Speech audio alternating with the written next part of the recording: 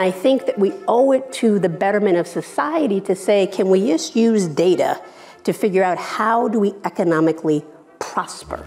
I mean, mm-hmm. to me, racism is like a political issue because if you keep putting us aside, we're never going to compete with other countries. We're never going to have a GDP that we could have.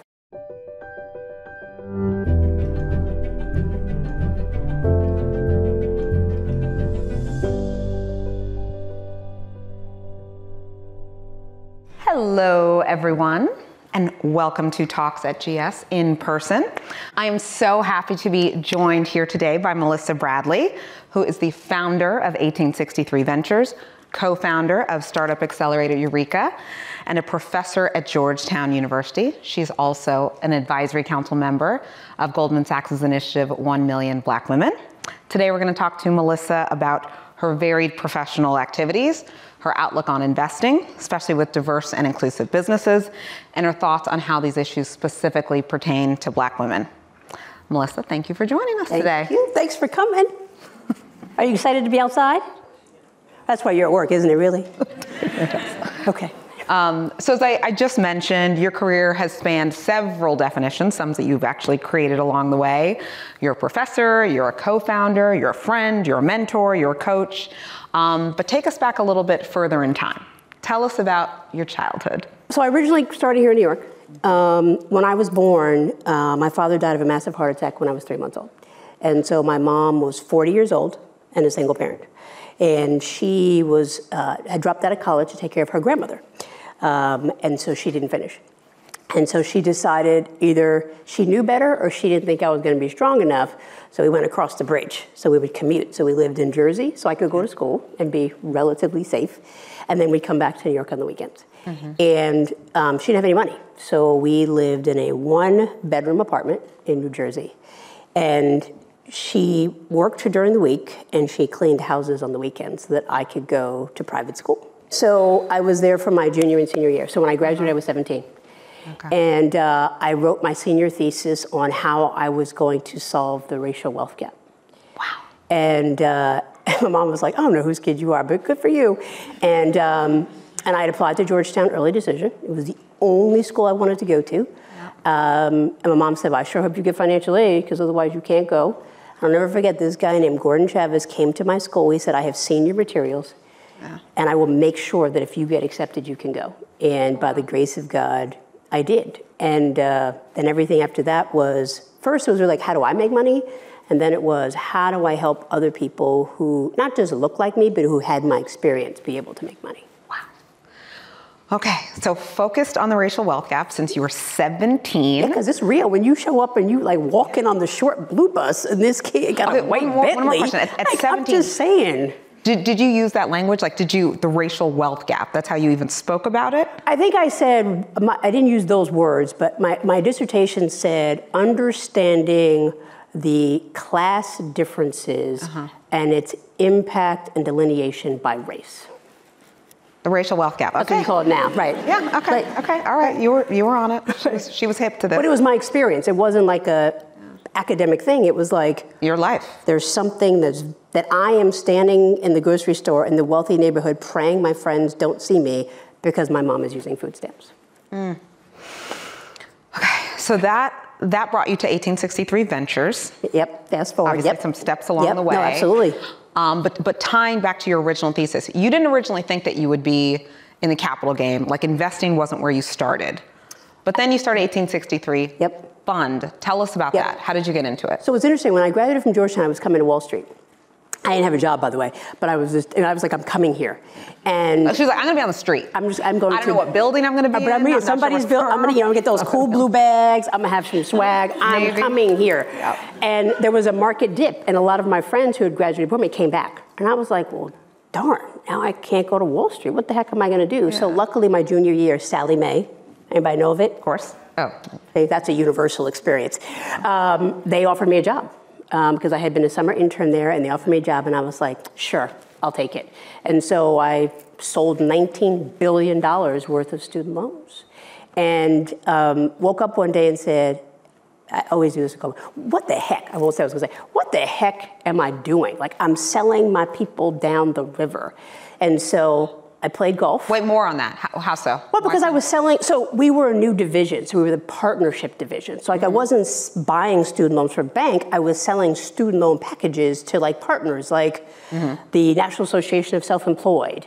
Mm-hmm. I remember going to Chicago, meeting with the AKAs, and I'm like, I just sold my folks down the river. And it just hit me one day like, I just came from a school where I said I wasn't gonna do this, and now I'm saddling people with more debt. And it, it just bothered me. It just bothered me. And so I knew I wanted to leave, but I couldn't afford it. And that was the moment which got me to 1863 because I ended up starting a business. I went to the SBA and I asked for a loan. Now, I'm a finance major. I know Georgetown's not Harvard, but we're pretty darn good, I think. Yeah. And I, I printed it out, you know, Kinko's, I know, bound. And, uh, and the woman says, I liked your business plan, but I can't give you a loan. I said, why not? She said, you have three strikes against you. I said, "Pfft, I got this. She says, you're black. I said, darn. That's not what I really said, but I promise I won't curse today. And, uh, and I said, well, I can't do anything about that. She goes, and you're a woman. I said, well, I could change that, but I'm not really up for that. And then she said, I don't know any successful black women in financial services. And I couldn't combat that at the moment. I was like, well, I don't either, but it doesn't really matter. This, this is this is a loan officer. As a loan officer at the SBA. And I was starting a financial services company um, targeted to parents because there was a certain president in office and kids couldn't afford to go to school. And I was like, that's all you got? She's like, yeah. I was like, huh. And my mom literally heard, she said, get your butt up and get out.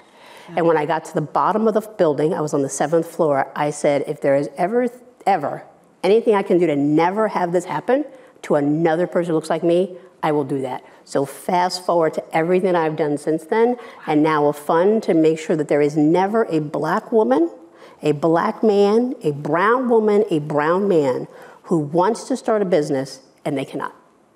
Wow.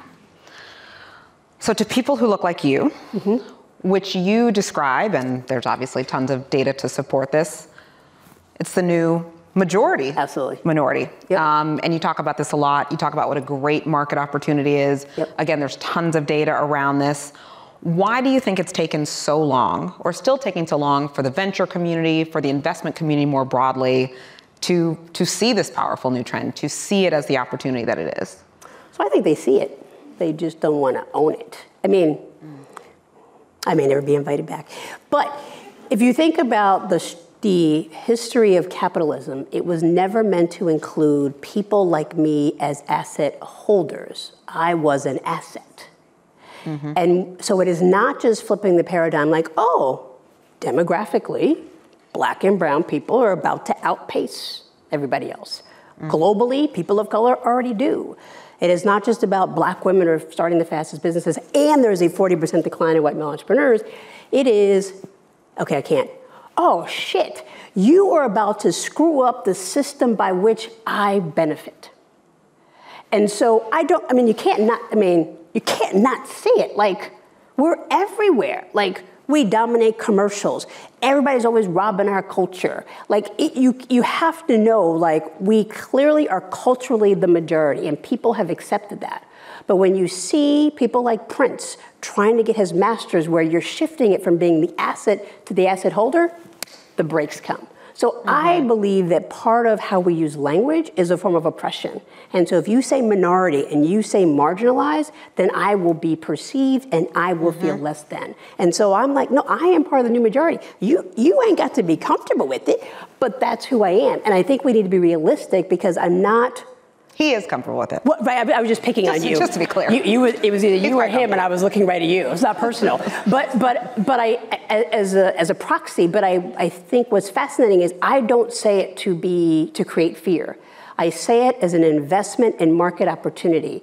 If you continue, if you just believe the numbers, I'm gonna put climate change. I get that, but y'all should just be able to see the data. We will be the new majority.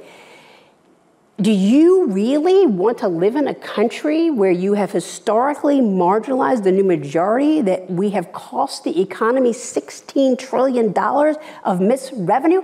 Nothing personal, but I don't think my alumni friends from MKA want to give up their Bentley because they don't like me. I think they want to figure out how to make it work.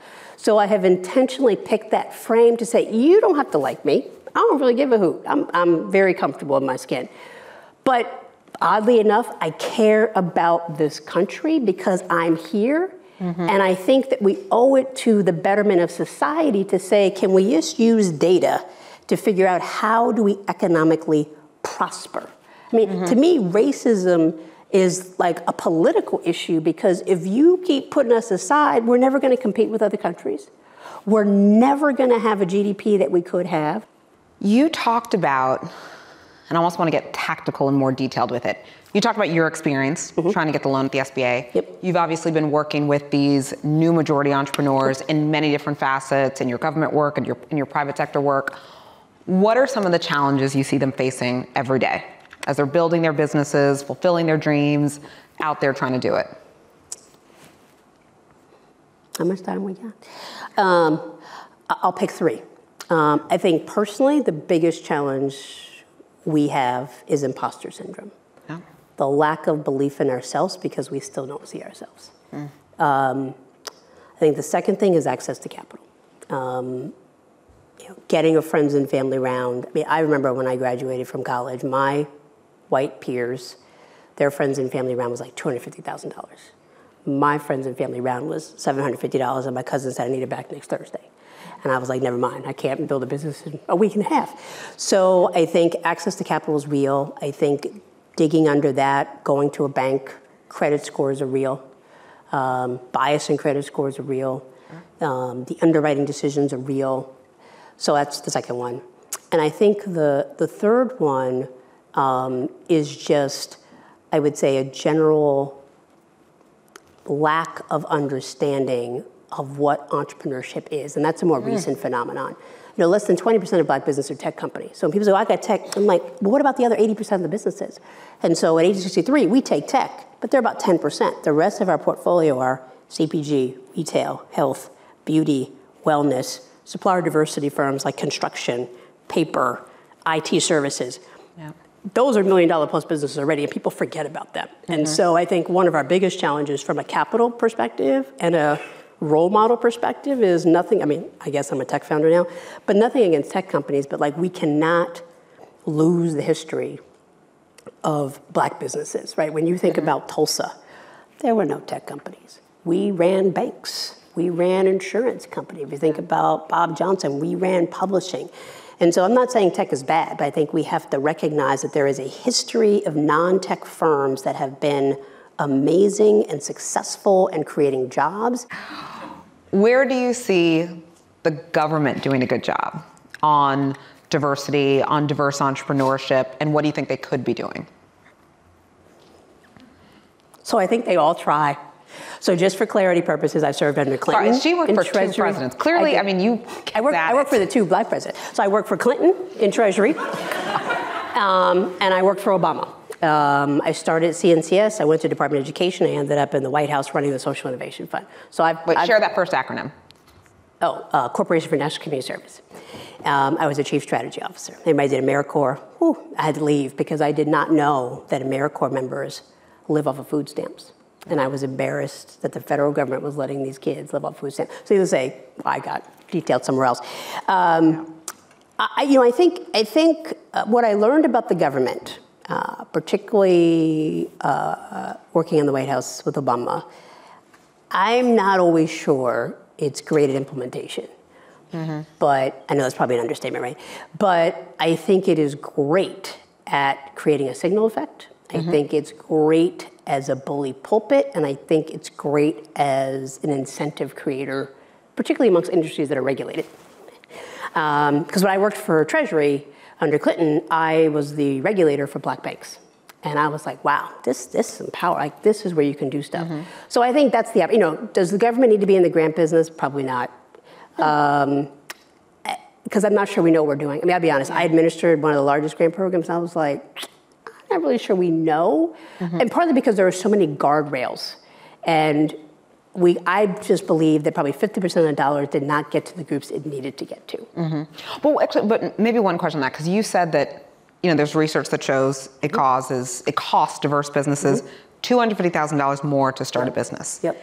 If not the government grants, who should pay for that? Like who should bear that cost? See, but I, instead of grants, like I think, give me a tax credit, hmm, Okay. Right? Because I, because I, what, I, what I worry about with the grants, and this is somewhat hypocritical based on what I do, what I worry about the grants is, you know, it starts at this number, and then it goes to some intermediary. Then it goes to another intermediary. So by the time it gets to the entrepreneur, you done lost like a 15 to 20% margin. Mm-hmm. That's a lot of money just caught up in administration because you found me. And so mm-hmm. I think if there was a way that the government could stop using some intermediaries, because there's a lot of slush there, and figure out how to leverage universal basic income as a means to deliver those dollars. All right, 1 million black women. We're only a couple months in, but Yes, thank God. Yes. I'm so excited about it. You wanna know why? yes. Okay, so when, when Margaret called me and told me about this, I'm not an emotional person, but I almost could have cried. And I was jumping up and down. And let me tell you why. Because once COVID happened, it was like, what the hell? And then George Floyd happened. I was like, oh my God, it's Armageddon. And let's be clear, we all know black people are killed every day on day. But it was like, this is either gonna go really, really well, and people are gonna do something different, or people are gonna be like, "Pff, we are totally like, Yeah. we're used to it, it's not a big deal. And people, some people know who I am, so I got a lot of calls from people. I did some TV shows, and I was like, man, these commitments are whack. Like, if people do half of them, maybe, but if anybody is tracking, less than 10% of all commitments have been fulfilled so far. And so when you called, I was like, okay, well, I guess Goldman should have initiative, and I trusted because you were there. And then you, I said, what's the amount? And then you said $10 billion in investing and a $100 million investment. And I have never been more serious in my life because it is the only commitment to date where there is a significant more dollars on the investment side than the charitable side. And the signal effect around that, that Goldman Sachs, of all places, actually believes there is an economic return in these historically marginalized communities. And so uh, you want this on tape. I think it's the best thing I've heard so far. Um, and I do, I do. I, I really, I tell people all the time, I think it's the best thing I've heard so far. Um, and I think it's best because of the number and the signal effect. I think it's best now that I have the chance to see the integrity of the process. Thank you so much for, My pleasure. for coming. Always, for- I got dressed for up for you. so Open and, want you to know. Margaret knows I'll be on a Zoom call with a black T-shirt with some radical saying. Um, my wife was like, "Could you please get dressed up?" Then I got here. I'm like, Goldman doesn't have a dress code. Shoot, I could have had my kicks on. So I just hope y'all appreciate the outfit for y'all. Yes, yes. Well, next time when we Kicks. have you here again, Kicks. black t-shirts with radical sayings and sneakers. Amen. Thank you so much. Man, thank you.